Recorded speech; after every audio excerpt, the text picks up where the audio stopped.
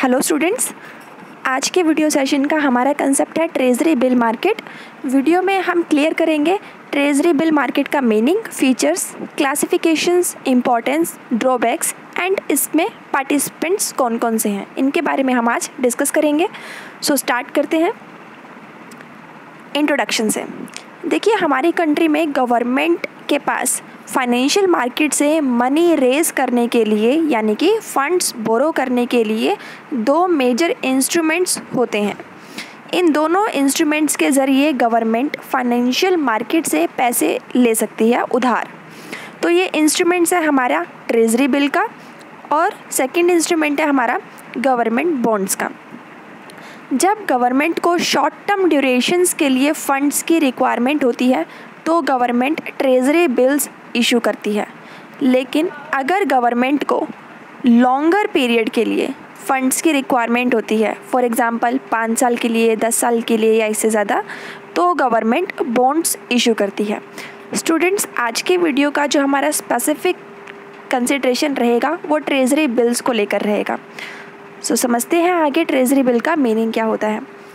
देखिए treasury bill ऐसे promissory notes होते हैं जो गवर्नमेंट के बिहाफ पर Reserve Bank of India issue करता है और ट्रेजरी बिल्स को डिस्काउंट पर इशू किया जाता है और पार वैल्यू पर रिडीम किया जाता है। ट्रेजरी बिल हमारे शॉर्ट टर्म ड्यूरेशंस की रिक्वायरमेंट को फंड्स की रिक्वायरमेंट को पूरा करते हैं। प्रोमिजरी नोट स्टूडेंट्स वो बिल्स होते हैं, वो नोट्स होते हैं, जिसमें एक प्रॉमिस किया जाता है कि यस बियरर को, यानी कि जिसके पास वो प्रोमिजरी नोट होगा, वो सर्टिफिकेट होगा, उसको पेमेंट कर दी जाएगी एक स्पेसिफिक अमाउंट की, जितनी भी उस नोट पे लिखा होता है। तो प्रोमिजरी नोट में एक ये इस तरह का प्रॉमिस किया जाता है। ट्रेजरी बिल्स जो हैं, ये एक गवर्नमेंट सिक्योरिटी है। गवर्नमेंट सीधे पब्लिक को इशू नहीं कर सकती। गवर्नमेंट के बिहाव पे रिज़र्व बैंक ऑफ़ इंडिया इसे इशू करता है। और हमेशा ये डिस्काउंटेड वैल्यू पर ही इशू किए जाते हैं। जैसे कि अगर ट्रेजरी बिल हमारा सौ रुपये का है तो Reserve Bank of India decide करेगा कि डिस्काउंटेड अमाउंट क्या होगा और उसको इशू कर दिया जाएगा। एक एग्ज़ाम्पल के थ्रू हम इस कंसेप्ट को आगे क्लियर करेंगे। इंडिया में जो फ़र्स्ट ट्रेजरी बिल था, वो 1917 में इशू किया गया था। स्टूडेंट्स ट्रेजरी बिल्स को शॉर्ट फॉर्म में टी बिल्स भी बोला जाता है। इन्हें हम ज़ीरो कूपन बॉन्ड्स भी कहते हैं। ज़ीरो कूपन बॉन्ड्स इसलिए कहते हैं क्योंकि जो पर्सन ट्रेजरी बिल्स को ख़रीदता है या इनमें इन्वेस्टमेंट करता है, उसको इंटरेस्ट की इनकम नहीं होती है। उसको इंटरेस्ट नहीं मिलता है। ठीक है? जैसे कि हम कहीं पे इन्वेस्टमेंट करते हैं और हमें बदले में इंटरेस्ट मिलता है बट ट्रेजरी बिल्स में अगर हम इन्वेस्टमेंट करते हैं तो हमें इंटरेस्ट नहीं मिलेगा। अब आप कंफ्यूज हो रहे होंगे, फिर ट्रेजरी बिल्स में इनकम कहाँ से जनरेट होगी? तो इस बात को भी हम आगे अपने एग्ज़ाम्पल में क्लियर कर लेंगे। स्टूडेंट्स जो डिस्काउंट का रेट होता है रिज़र्व बैंक ऑफ़ इंडिया का, के थ्रू डिसाइड किया जाता है। ट्रेजरी बिल्स कितने परसेंट के डिस्काउंटेड रेट पर इशू किए जाएँगे, ये आरबीआई खुद डिसाइड करता है। ट्रेजरी बिल्स में गवर्नमेंट प्रॉमिस करती है कि वो बियरर को, यानी जिसके पास वो ट्रेजरी बिल है, धारक को जितना अमाउंट ट्रेजरी बिल पर लिखा हुआ है, उसकी पेमेंट करेगी मेच्योरिटी पीरियड ओवर होने के बाद। स्टूडेंट्स ये था हमारे एक बेसिक मीनिंग कि ट्रेजरी बिल्स एक्चुअल में है क्या। अभी हम समझते हैं। देखिए, यहाँ पे है, ये हमने एक एग्ज़ाम्पल लिया है कि ट्रेजरी बिल कैसा दिखता है। तो कुछ इस तरह का हमारा ट्रेजरी बिल्स ट्रेजरी बिल होता है। इंडिया में जो एक ट्रेजरी बिल इशू किया गया था, ये उसकी एक इमेज यहाँ पे हमने डिस्प्ले की है। स्टूडेंट्स नेक्स्ट हमारे पास आता है एग्ज़ाम्पल अज्यूम करिए कि गवर्नमेंट इशू करती है एक 91 डेज़ का ट्रेजरी बिल 91 डेज़ का ट्रेजरी बिल का मतलब है कि इस ट्रेजरी बिल का मैच्योरिटी पीरियड होगा 91 डेज़ का. 91 डेज़ के ओवर होने के बाद गवर्नमेंट आपको पेमेंट कर देगी. अज्यूम करिए कि गवर्नमेंट एक 91 डेज़ का ट्रेजरी बिल इशू करती है, जिसकी फेस वैल्यू है थाउज़ेंड रुपी इसको डिस्काउंटेड रेट के टेन परसेंट के रेट पर इशू किया जाता है। तो थाउज़ेंड रुपये का टेन परसेंट हो जाता है यहाँ पे हंड्रेड रुपये तो हंड्रेड रुपये का डिस्काउंट दिया जाएगा। फेस वैल्यू है थाउज़ेंड रुपये टेन परसेंट हो गया है रेट ऑफ़ डिस्काउंट ये टेन ये जो डिस्काउंट रेट है, ये रिज़र्व बैंक ऑफ़ इंडिया ही डिसाइड करता है। इस सिचुएशन में अगर आपको ये ट्रेजरी बिल ख़रीदना है नाइन्टी वन डेज़ का टी बिल ख़रीदना है गवर्नमेंट से रिज़र्व बैंक के थ्रू तो आप गवर्नमेंट को नाइन हंड्रेड रुपये की पेमेंट करेंगे, यानी थाउज़ेंड रुपये में से हंड्रेड रुपये का जो डिस्काउंट है उसको माइनस करके टेन परसेंट के रेट पर तो हम आप गवर्नमेंट को नाइन हंड्रेड रुपये की पेमेंट करेंगे और गवर्नमेंट आपको जब नाइन्टी वन डेज़ ओवर हो जाएँगे थाउज़ेंड रुपये की पेमेंट कर देगी राइट नाइन्टी वन डेज़ ये है हमारा मेच्योरिटी पीरियड तो इस तरह से आपके लिए इनकम क्या हो गई है? फेस वैल्यू और जो अमाउंट आपने इन्वेस्ट किया था, इन दोनों के बीच का डिस्काउंट आपका इनकम हो जाता है। क्योंकि हमारे यहाँ पे ट्रेजरी बिल की फेस वैल्यू थी थाउज़ेंड रुपी बट आप इस 91 डेज़ के टी बिल को ख़रीदने के लिए पेमेंट कर रहे हैं नाइन हंड्रेड रुपी की। तो आपकी यहाँ पे इनकम हो जाती है रुपी हंड्रेड की। ठीक है? सो इस तरीके से ट्रेजरी बिल्स पर हमें इंटरेस्ट के फॉर्म में इनकम नहीं होती है। इन्वेस्टर के लिए इनकम हो जाती है ट्रेजरी बिल की पार वैल्यू यानी फेस वैल्यू और इन्वेस्टर ने जो अमाउंट इन्वेस्ट किया है टी बिल्स को ख़रीदने के लिए, इन दोनों के बीच का डिफरेंस इन्वेस्टर के लिए इनकम हो जाता है। ये टी बिल्स बहुत ही फ़ायदेमंद होते हैं क्योंकि बहुत ही शॉर्ट टर्म ड्यूरेशन के लिए होती है। आप खुद देखिए नाइन्टी वन डेज़ के लिए नाइन हंड्रेड रुपी इन्वेस्ट करके आपने हंड्रेड रुपी एक्स्ट्रा कमा लिए हैं। स्टूडेंट्स नेक्स्ट हमारे पास कंसेप्ट आता है कि टी बिल्स का फीचर्स क्या होते हैं। देखिए, जो मिनिमम डिनोमिनेशन है टी बिल्स को इशू करने की, वो ट्वेंटी फाइव थाउज़ेंड की होती है।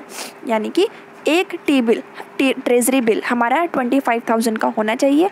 गवर्नमेंट इसको ट्वेंटी फाइव थाउज़ेंड के मल्टीपल्स में भी इशू करती है। जो मिनिमम डिनोमिनेशन है इंडिया में that is of twenty five thousand rupee ये करंट डाटा है हमारा। इसको ट्वेंटी फाइव थाउज़ेंड के मल्टीपल्स में इशू किया जाता है। जैसे पच्चीस हज़ार पचास हज़ार पचहत्तर हज़ार एक लाख इस तरह से। Treasury bills are negotiable security बहुत ही ईजिली ये नेगोशिएबल है क्योंकि हाईली सिक्योर है। हम इन्हें ट्रांसफ़र कर सकते हैं primary market and secondary market में। डीलिंग करने के लिए ट्रेजरी बिल्स हमेशा अवेलेबल हो, होते हैं और इनके इनके बायर्स एंड सेलर्स भी अवेलेबल होते हैं ऑल टाइम दोनों मार्केट में प्राइमरी मार्केट में भी और सेकेंडरी मार्केट में भी। Issued by R on behalf of government treasury bills को आरबीआई इशू करता है गवर्नमेंट के बिहाफ पर, यानी कि इन ट्रेजरी बिल की पेमेंट की गारंटी जो है, जो प्रॉमिस है, वो प्रॉमिस गवर्नमेंट के द्वारा दिया जाता है, किया जाता है और आरबीआई मार्केट में इन ट्रेजरी बिल्स को सेल करता है गवर्नमेंट के लिए। गवर्नमेंट की शॉर्ट टर्म डेफिशिट रिक्वायरमेंट को मनी के रिक्वायरमेंट को पूरा करने के लिए। ट्रेजरी बिल्स को डिस्काउंट के रेट पर डिस्काउंटेड वैल्यू पर इशू किया जाता है और इसको रिडीम किया जाता है, इसकी पेमेंट की जाती है मैच्योरिटी डेट पर पार वैल्यू पे। जैसे हमने देखा था हमारे एग्ज़ाम्पल में कि हम गवर्नमेंट हमसे नाइन हंड्रेड रुपी ले रही थी और मैच्योरिटी डेट यानी नाइन्टी वन डेज़ ओवर होने के बाद हमें थाउज़ेंड रुपी यानी कि उसकी पार वैल्यू फेस वैल्यू हमें पे कर रही थी। सो so, इसी तरह से ट्रेजरी बिल्स डिस्काउंटेड वैल्यू पर इशू किए जाते हैं और पार वैल्यू पर रिडीम मैच्योरिटी डेट पर पेमेंट की जाती है। हाईली लिक्विड होते हैं क्योंकि बहुत जल्दी ये कैश में कन्वर्ट हो जाते हैं शॉर्ट टर्म ड्यूरेशन के लिए होती है। इनके डिमांड भी मार्केट में ऑल टाइम अवेलेबल होती है। ठीक है? सो so, इस तरह से ट्रेजरी बिल्स हमारी हाईली लिक्विड होते हैं। रिस्क फ्री गवर्नमेंट सिक्योरिटी आप जब ट्रेजरी बिल्स की गव, जो गारंटी है, वो गवर्नमेंट के थ्रू की जा रही है सो ये बिल्कुल रिस्क यहाँ पे नहीं होता है तो ये रिस्क फ्री सिक्योरिटीज़ हमारी हो जाती हैं गवर्नमेंट की सिक्योरिटीज़ अश्योर्ड रिटर्न इन्वेस्टर को पता होता है कि एक स्पेसिफिक मैच्योरिटी डेट ओवर होने के बाद उसको एक स्पेसिफिक अमाउंट की इनकम जनरेट हो जाएगी, और सिक्योरिटी भी हमारी सिक्योर है लिक्विड है तो इस तरह से ट्रेजरी बिल्स पर जो रिटर्न है, जो इनकम है, वो अश्योर्ड हो जाती है। इन्वेस्टर को पूरा विश्वास होता है कि उसको ये इनकम रिसीव होगी जनरेट होगी। स्टूडेंट्स फीचर्स क्लियर करने के बाद हमारे यहाँ पे कुछ क्लासिफिकेशंस हैं कि ट्रेजरी बिल किस किस तरह के मैच्योरिटी पीरियड के होते हैं। तो नॉर्मली हमारे पास फोर टाइप्स के ट्रेजरी बिल्स अवेलेबल हैं। एक है हमारा 91 डेज़ की मैच्योरिटी पीरियड का ट्रेजरी बिल्स नेक्स्ट है हमारा 182 डेज़ की मेचोरिटी पीरियड का ट्रेजरी बिल्स 364 डेज़ के मैच्योरिटी का ट्रेजरी बिल्स एंड 14 डेज़ के मैच्योरिटी पीरियड का ट्रेजरी बिल्स स्टूडेंट्स जो मैक्सिमम टेन्योर है ट्रेजरी बिल का, वो 364 डेज़ होता है। क्योंकि ट्रेजरी बिल्स हमारा एक मनी मार्केट का इंस्ट्रूमेंट है और मनी मार्केट हमारी शॉर्ट टर्म ड्यूरेशन, यानी एक साल से कम के इंस्ट्रूमेंट्स को कवर करती है। तो इसीलिए ट्रेजरी बिल्स का जो मैक्सिमम टेन्योर रहता है, वो भी एक साल से कम तक रहता है 364 डेज़ का मैक्सिमम पीरियड इसमें होता है। तो ये हमारे यहाँ पे basically four classifications four type के treasury bills different different maturity periods के यहाँ पे अवेलेबल होते हैं, जिन्हें गवर्नमेंट इशू कर सकती है मार्केट में आरबीआई के थ्रू नेक्स्ट कंसेप्ट हमारा आता है स्टूडेंट्स के ट्रेजरी बिल्स की इंपॉर्टेंस क्या है? So investment in treasury bills offer the following advantage अगर आप ट्रेजरी बिल्स में इन्वेस्टमेंट करना चाहते हैं तो देखिए, आपको ये गिवन एडवांटेजेस हो सकते हैं। First advantages as an investor जो आपको मिलेगा वो ये है कि सेफ्टी का। हर इन्वेस्टर चाहता है कि अगर वो अपना प्रिंसिपल अमाउंट कहीं पे इन्वेस्ट करता है तो उसका जो प्रिंसिपल अमाउंट है वो हमेशा सिक्योर रहे सेफ़ रहे।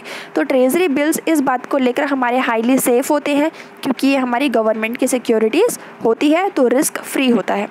लिक्विडिटी बहुत ही शॉर्ट टर्म ड्यूरेशन के लिए है। मनी मार्केट का इंस्ट्रूमेंट है। एक साल से कम में ही आपको इनकम भी जनरेट हो जाती है अच्छी और आप इन्वेस्टमेंट भी कर लेते हैं। इनकी डिमांड भी primary market and secondary market में ऑल टाइम अवेलेबल होती है क्योंकि ये गवर्नमेंट की सिक्योरिटीज़ है। तो लिक्विडिटी का फीचर भी आपको इसमें मिल जाता है। लिक्विडिटी यानी कि कितनी जल्दी हम अपनी किसी भी चीज़ को कैश में कन्वर्ट करा सकते हैं। तो इस बात को लेकर ट्रेजरी बिल्स भी हमारा हाईली लिक्विड है, क्योंकि हम इसे बहुत ही ईजिली प्राइमरी मार्केट या सेकेंडरी मार्केट सेकेंडरी मार्केट में एंटर करके कैश में कन्वर्ट कर सकते हैं। Helpful to banks on maintaining statutory liquidity ratio and C R R देखिए, जो हमारा ट्रेजरी बिल्स है बैंक्स अगर ट्रेजरी बिल्स में इन्वेस्टमेंट करते हैं तो ये ट्रेजरी बिल्स बैंक्स के एस एल आर और सी आर आर में काउंट किए जाते हैं।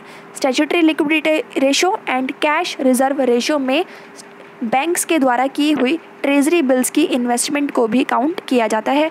तो इस तरह से बैंक के लिए भी हेल्पफुल हो जाता है एसएलआर और सीआरआर के रेशो को मेंटेन करके आरबीआई की गाइडलाइन को फुलफिल करने में। स्टूडेंट्स ट्रेजरी बिल्स बहुत ही हेल्पफुल होते हैं गवर्नमेंट के लिए शॉर्ट टर्म ड्यूरेशन के लिए फ़ंड्स की रिक्वायरमेंट को पूरा करने के लिए। गवर्नमेंट बहुत ही आसानी से अपने कम से कम समय के लिए गवर्नमेंट को अगर मनी की नीड होती है तो उस ज़रूरत को पूरा कर सकती है। ट्रेजरी बिल रिज़र्व बैंक के लिए एक मॉनेटरी कंट्रोल का भी काम करता है, एक टूल का काम करता है कंट्री में मनी सप्लाई को कंट्रोल करने के लिए, राइट? अगर गवर्नमेंट को लगता है कि मार्केट में मनी की सप्लाई को कंट्रोल करना है तो गवर्नमेंट बहुत ही इजी तरीके से ट्रेजरी बिल्स इशू करके मार्केट में मनी की सप्लाई को कंट्रोल कर सकती है। Hedging against volatility in call money market rates. देखिए, जो हैजिंग का फीचर है वो भी हमें मिल जाता है। क्योंकि कोल मनी मार्केट जो है, उसके रेट्स हाईली वोलेटाइल होते हैं। सीजन्स पर डिपेंड करते हैं राइट जैसे कि बिज़ी सीज़न में कॉल मनी मार्केट के रेट बहुत ही बढ़ जाते हैं और स्लेक सीज़न में कॉल मनी मार्केट के रेट्स बहुत ही डिक्रीज़ हो जाते हैं। हम ट्रेजरी बिल इंस्ट्रूमेंट को यूज़ कर सकते हैं एक हैजिंग के फीचर के ज़रिए। बिकॉज़ हैजिंग क्या होता है? अपने रिस्क को कम करना। ट्रेजरी बिल्स बहुत ही हाईली लिक्विडिटी हमें प्रोवाइड कराते हैं। बहुत जल्दी ये कैश में कन्वर्ट हो जाते हैं। तो जहाँ पर कॉल मनी मार्केट के जो रेट्स हैं, वो बहुत ही वोलेटाइल होते हैं, बहुत ही चेंज होते रहते हैं। तो इसके कंपैरिजन में हमारे ट्रेजरी बिल्स बहुत ही फ़ायदेमंद साबित होते हैं, क्योंकि ये बहुत ही जल्दी कैश में कन्वर्ट हो जाते हैं। और हम अपने रिस्क को, हमारा जो पोर्टफोलियो हमने बनाया हुआ है, उस पोर्टफोलियो में किसी भी सिक्योरिटी में अगर हमें रिस्क ज़्यादा है तो हम उस सिक्योरिटी के रिस्क को ट्रेजरी बिल से कंपनसेट कर सकते हैं। Helpful for fund managers in portfolio, the dates of maturities of treasury bills may match with the dates of payment of their liabilities. देखिए फंड मैनेजर के लिए किस तरह से हेल्पफुल है ट्रेजरी बिल्स फंड मैनेजर्स जो हैं वो अपने पोर्टफोलियो में ट्रेजरी बिल्स के इस तरह से ट्रेजरी बिल्स में इन्वेस्टमेंट कर सकते हैं कि ट्रेजरी बिल्स का जो मैच्योरिटी डेट है वो उनकी लाइबिलिटी के पेमेंट से मैच हो जाए कि अगर फंड मैनेजर को लगता है कि आने वाले तीन महीनों में उसे एक लाइबिलिटी की पेमेंट करनी है। तो फंड मैनेजर आज ही 91 डेज़ के ट्रेजरी बिल्स में इन्वेस्टमेंट कर सकता है, ताकि आने वाले तीन महीने के अंदर जब वो 91 डेज़ का ट्रेजरी बिल मैच्योर होगा तो वो अपनी लाइबिलिटी की भी ईजिली पेमेंट कर देगा प्लस ट्रेजरी बिल्स से होने वाली इनकम का भी वो बेनिफिट ले सकता है। तो इस तरीके से फंड मैनेजर्स को भी ट्रेजरी बिल हेल्पफुल हो जाते हैं, एक अच्छा पोर्टफोलियो मेंटेन करने में।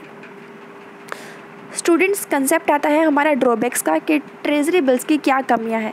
हर इंस्ट्रूमेंट्स के अपने एडवांटेजेस भी होते हैं बट कुछ ना कुछ लिमिटेशंस भी आपको उसमें ज़रूर मिलेगी।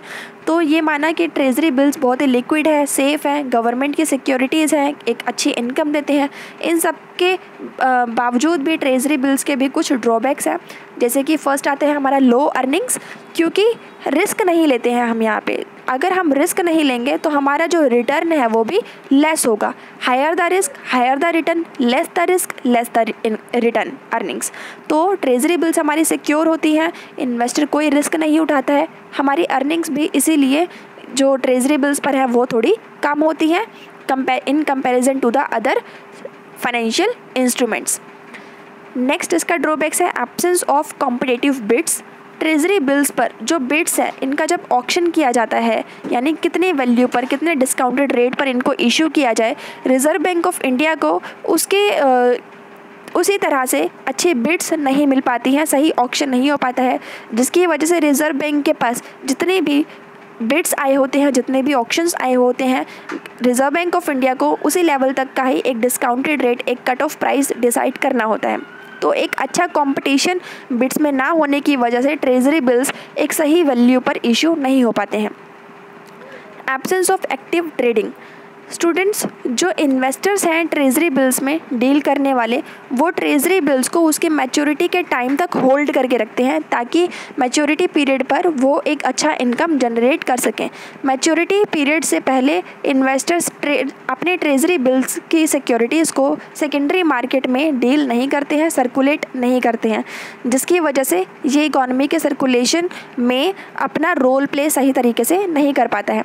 तो इसीलिए हमारा ये एक ड्रॉबैक बन जाता है एब्सेंस ऑफ़ एक्टिव ट्रेडिंग का यानी कि ये मानते हुए कि ट्रेजरी बिल को सेकेंडरी मार्केट में बहुत आसानी से डील किया जाता है बट फिर भी इन्वेस्टर्स सेकेंडरी मार्केट में इसके सर्कुलेशन को आग, आगे नहीं बढ़ाते हैं वो अपने ट्रेजरी बिल्स को मैच्योरिटी पीरियड तक ही होल्ड करके रखते हैं ताकि वो इनकम जनरेट कर सकें।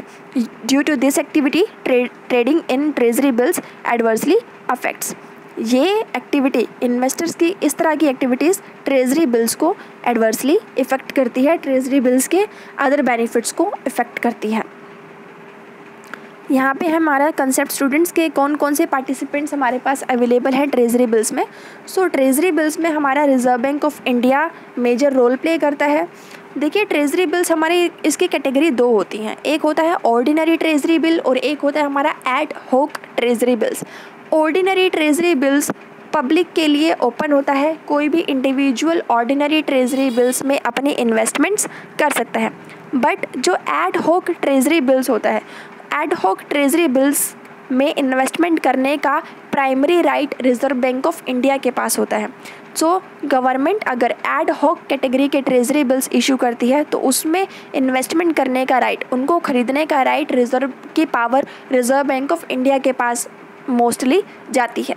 डन बट जो ऑर्डिनरी कैटेगरी के ट्रेजरी बिल्स होते हैं उनमें कोई भी इंडिविजुअल कोई भी इंस्टीट्यूशन कोई भी बैंक आकर अपनी इन्वेस्टमेंट करके उन ऑर्डिनरी टाइप के ट्रेजरी बिल्स को खरीद सकता है।